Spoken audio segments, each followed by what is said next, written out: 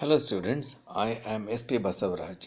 This presentation for you is a limited demonstration regarding the experiment laser diffraction. This is simply to help you having a better preparation prior to your practical examination. You have already done this experiment once in your regular class.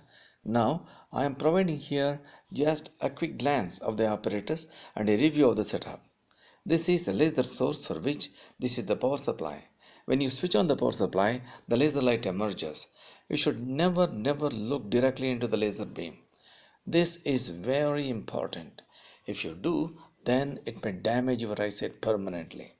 Any problem in its operation, always take the help of the department staff. This is a plate. It has three windows with gratings of different line densities. You can choose any one of these. This is a grating stand to hold the grating plate. Take a graph sheet Draw two perpendicular lines and write numbers like this on it. This is a metal plate on which the graph sheet is fixed like this and it is now the screen on which the laser light falls. Keep the grating stand and the screen separated by about half a meter distance on the table. Next to the grating stand, place the laser source so as to receive the laser beam normally to the plane of the screen. Switch on the laser source the luminous spot on the screen that you see here is the incident laser light. Adjust the position of the screen so that the spot is on the vertical line.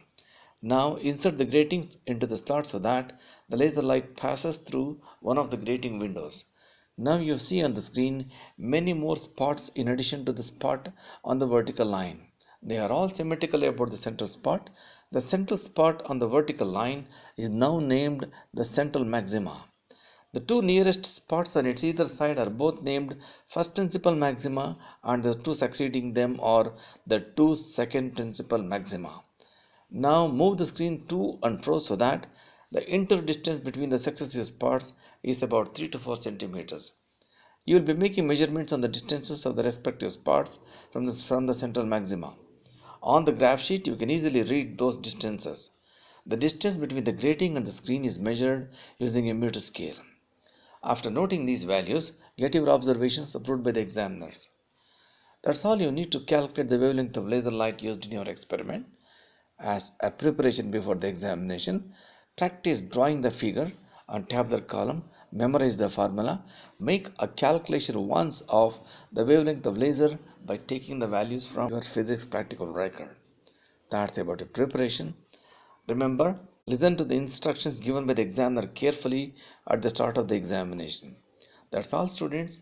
I hope this video helped you a bit in your preparation for the practical examination. Thanks for watching.